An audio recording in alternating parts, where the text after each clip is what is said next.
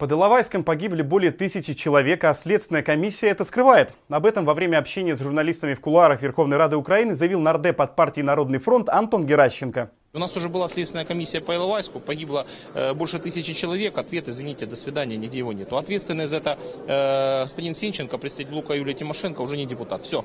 Вот задайте этот вопрос. Результаты деятельности следственных комиссий Верховной Рады, которые были. Почему их нет? Почему те, кто э, ответственны были за их работу, не доводили их до конца? Вот вам ответ. Это вопрос качества работы Верховной Рады и депутатов, которые у него избраны. Все. Ранее военный прокурор Анатолий Матиас заявил, что окончательное количество погибших в Иловайске составило около 360 человек. Более 500 человек получили ранения, а 180 военных числятся пропавшими без вести.